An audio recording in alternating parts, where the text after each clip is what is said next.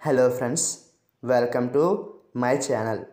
ఈరోజు పదం అంటే పేరెంట్ దీని తెలుగులో తల్లిదండ్రులు అని అంటారు. దీని definition a father or mother? అంటే తెలుగులో ఒక తండ్రి లేదా తల్లి. దీనికి సంబంధించిన కొన్ని ఫోటోలు చూద్దాం. వాటితో ఇంకా బాగా అర్థం చేసుకుందాం.